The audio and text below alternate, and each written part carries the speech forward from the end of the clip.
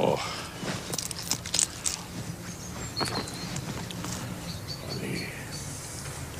Salut. Ich glaube, man muss überhaupt keine Pläne machen. Wenn man Pläne machen mit dem Leben, ist es ziemlich lächerlich.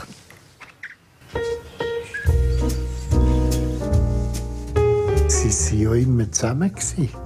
Sie haben auch beide irrsinnig viel erlebt. Der Autor Friedrich Dürrenmatt ist in New York so bekannt wie in Paris, Moskau oder Tokio. Viel Arbeit, viel Besuch. Das war ein irrsinniges Leben.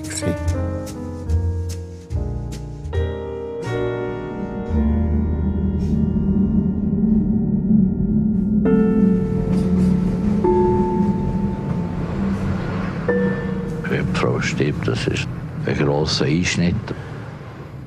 Plötzlich, wenn man auf sich zurückgeworfen ist, dann stellt sich einfach die Frage, was kommt. Er war ein Moralist aus Nihilismus heraus, ein Rebell im luftleeren Raum. Sein Theater, nicht die Realität, ist grotesk.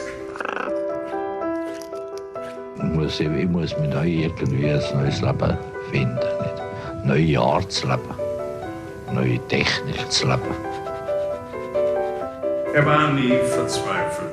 Man brauchte ihm nur ein Kotelett vor die Nase zu setzen, einen anständigen Tropfen, und er war glücklich. Ist das aus?